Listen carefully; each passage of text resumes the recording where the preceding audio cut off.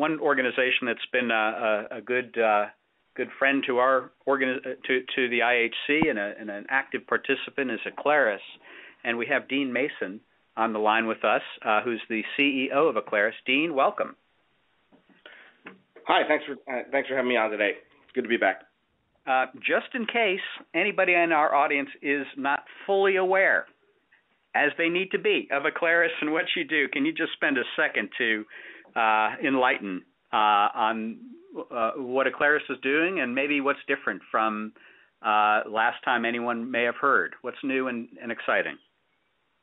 Sure. Um, is a technology and services provider in the uh, consumer account space, um, covering FSAs, HRAs, HSAs primarily, but also ancillary um, types of uh, tax advantage consumer accounts like uh, dependent child care, commuter, hybrid car reimbursement, et cetera. We, we uh, have primarily a small group of you know very large uh, financial institutions and uh, insurance companies um, and uh, other types of organizations that um, private label our platform and services uh, under their own brands.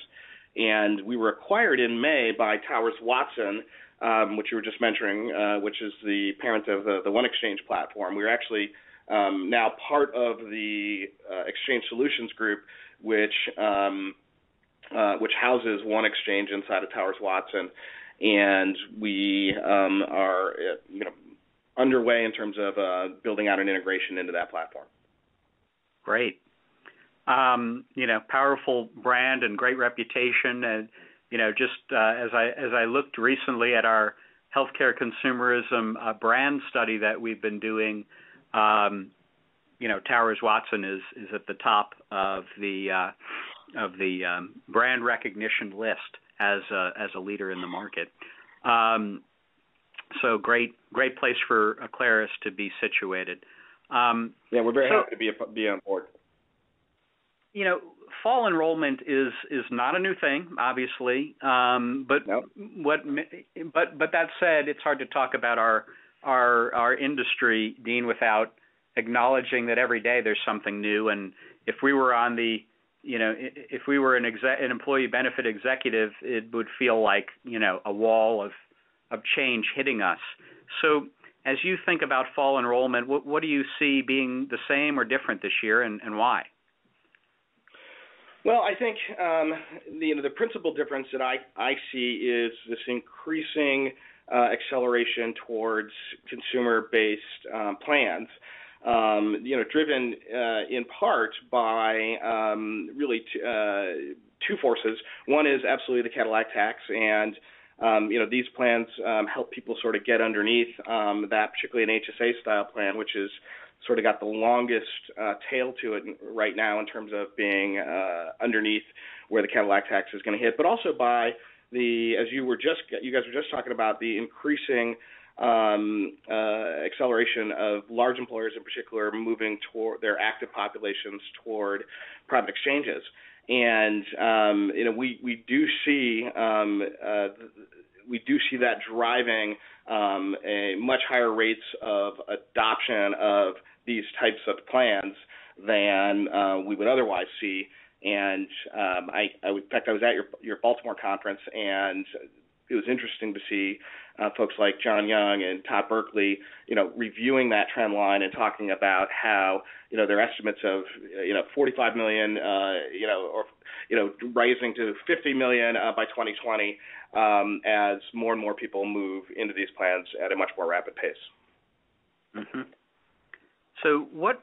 Why do you think uh, consumers are, are choosing high deductible plans and HSAs? What What's triggering that? Well, I think I think there's yeah, I really think there's a number of factors. Um, you know, at the level of the individual, uh, people are getting more comfortable with these plans and understanding that they you know they tend to make sense. And a number of people have said this, and I like it a lot.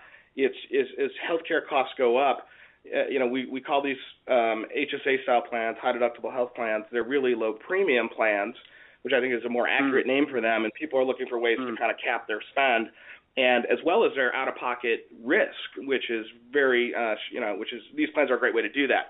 Now, um, the other thing, though, particularly in the private exchange world, the uh, the tools, the decision support tools that we see being implemented inside the private exchanges, are really helping people to think through uh, the decisions that they need to make, and you know what's the right plan option for me.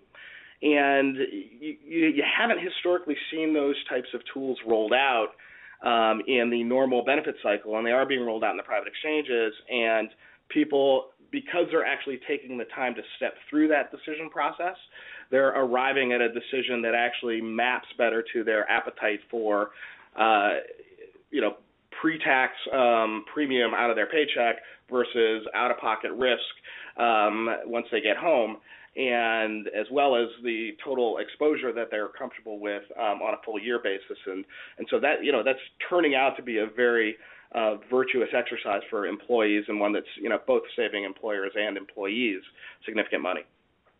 Can can you give us some, uh, you know, beyond anecdotes, are are, are there some um, examples or facts you can point to that that prove that out? Uh, you yeah. know, intuitively it makes sense. Um, again, back to that study we've done, we asked uh, our our audience, you know, what their frustrations are, and and and they're really around ROI. You know, give show me the show me the data. Um, yeah, that sure, these absolutely. Cool things um, are working. Yeah, I can absolutely uh, speak to that. Uh, you know, first and foremost, on the the value of the decision support tools, uh, if you if you look at at uh, you know not full replacement HSA style implementations, but where um, an HSA, what we call a slice option, where an HSA is paired side by side with a traditional PPO type, type plan. What we what we would typically see is about you know call it anywhere from eight percent to fifteen percent um, of employees would opt into that plan, in, into that HSA plan. And, mm-hmm. and and this is you know across the last 10 years, me being at Optum and HSA Bank and now Acclaris very consistent kind of adoption patterns. But when you get inside a private exchange environment, what you where where the decision support tools are implemented, what you see is um, anywhere from 45 to you know high 60, 70 plus percent of the individuals in a slice same slice type environment selecting into that plan. We even see um, I, I was at a conference last week where um, the benefits directors from uh, DuPont and Sheraton and a number of other large companies were speaking on stage about their experiences and and they in, in, in some cases they offered um, the exact same plans that they had offered the year before, um, and people went overwhelmingly uh, in the same way in, in, ways that they hadn't in prior years into these HSA style plans because of the hmm. decision mm. support tools. Another really interesting example was um, one of the directors at that conference who spoke about the uh, the the first year they did it, they didn't really roll out the decision support tools, and what happened mm-hmm. was people went overwhelmingly into their HR, HRA plan, and she said just flat out we could we could see instantly that we actually we didn't um, we didn't drive the adoption we intended to, and so that ended up mm-hmm. costing us a lot more because we didn't get the same kind of uh, attention to benefit utilization and smart shopping um, at the consumer level uh, that we wanted to. And the second year they rolled those tools out, and they they ended up saving a lot of money. And so there's a massive financial motivation for them to implement those tools um, that they saw between year one and year two in their uh, exchange environment. Mm. Good, good examples. Thank you. Um, talk to us a little bit about the need for our industry to address the convergence of finance, healthcare, and consumerism to create a better healthcare consumer. Yeah, um, you know what what's what's really been interesting for me, particularly joining um, you know post acquisition of Acclaris by Towers Watson, is you you look at the way that the private exchanges, which have a very retail and consumerism kind of mindset, are are driving um, you know folks into the right plan choices in ways that we haven't seen before in this industry. And and then you think about well, there's these spending they're they're choosing these account-based products and there's these spending accounts and we're going to drive downstream. We need all that same decision support now to flow beyond the enrollment experience into the actual consumer uh, spending experience. And what I'm talking about is using you know the same types of uh, you know analytics of consumer behavior to make smarter choices. So Um, I gave I gave the example at one conference of we actually have the ability to look at the claim flow that's occurring within an account and say, hey, you could have you could have um, you know there's a there's a drugstore that's closer to you um, geographically mm. that has a better price than the one you're paying. Um, that's a real value added moment for a customer and one that engages them in a way that the current technologies out there don't. We've brought historically a traditional, and I come out of the banking world, a very traditional yeah. banking kind of mindset, transaction level mindset to health savings accounts as sort of an asset class. And we really need to think of these more uh, from the consumer's perspective as more of a, a um, how do we advise them to do appropriate spending, not an asset class, but a spending class, um, and help them ultimately save for the long-term goal of um, preserving those dollars towards retirement. And that's in the company's mm-hmm. plans, it's in the individual's plan, best interest um, as well mm-hmm. to for us to provide that. And I think overwhelmingly we're going to see companies that are able to integrate that into um, either into a robust exchange experience in a consistent way, or just as a standalone offering, the ones that are ultimately the winners.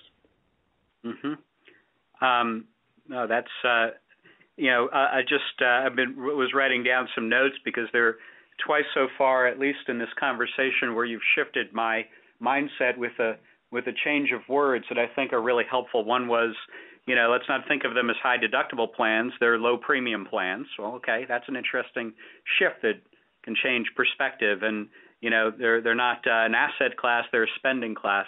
You know, those two things together can. Um, I mean, it's interesting the power of words, but those can change the way an organization approaches uh, this whole field. So, thank you for that. Uh, very interesting. Um, can you talk about you know the ideal consumer engagement scenario? I think part of it maybe was reflected in your last you know example of, of sort of fact-based decision making, you know that you can help provide. But how how can the industry work together to help make that ideal consumer engagement scenario come to life? Yeah, I, I think um, we we talk about what we we we think of as you know what's the next generation of the consumer experience and you know, you need to look no further than um, you know, if you think of your your you know whatever your favorite airline is, and you know the app that they have, they do a great job of integrating mm. your your overall program data with you know what's my current today data, like what flights am I going to take yeah. today, right? With you know where's all my receipts from everything, right? you know all yeah. into one nice little app, and you you know you it, and so you know, as I think about the, the, the consumer experience going forward in this industry, it's got to look something a lot more like that. And the advantage that the airlines have is they're a fully integrated, you know, kind of monolith, um, and they're presenting that. But uh, it's absolutely possible for us to leverage um, uh, across this across the various companies in this industry to enable that same type of experience. And I think, frankly, we're going to have to um, because uh, you know, who, somebody will get there, and I think it's it just serves all the players to figure out how do we exchange this information, trade this information, et cetera. But also to not be, you know, constrained by um, the rules that were invented 30 or 40 years ago. We should be coming up with, you know, what are the best ways possible to do something like substantiation, and what's the best way to have that experience, and and and and and then going back to Treasury and saying, hey we've heard your concerns around making sure that only the appropriate things have tax deferment. You know, here's something that you maybe haven't seen before, but that we think meets your requirements.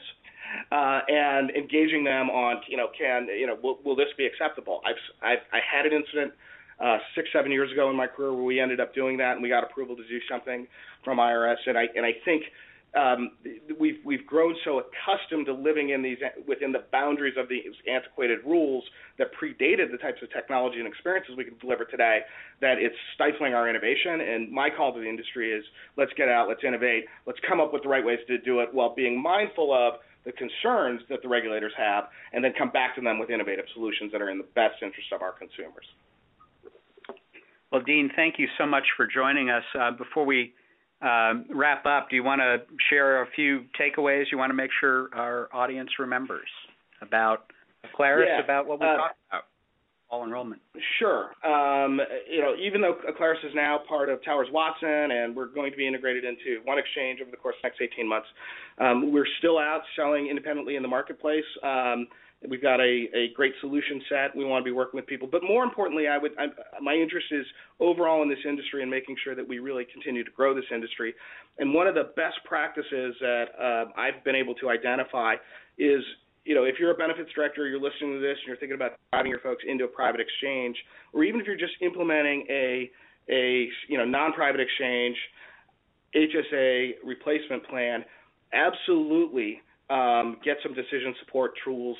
You know, get people to step through the decisions about what's right for them versus uh, in terms of risk versus uh, exposure um, versus take-home pay, uh, premiums pre-tax being paid and um, you know they will have a better experience, and you will get the benefit of better economics overall on your on your healthcare spend, and, and that's that's the best advice I can give today um, to anyone considering this type of health plan. Great. And last thing, best way for people to find out more or get in touch with you.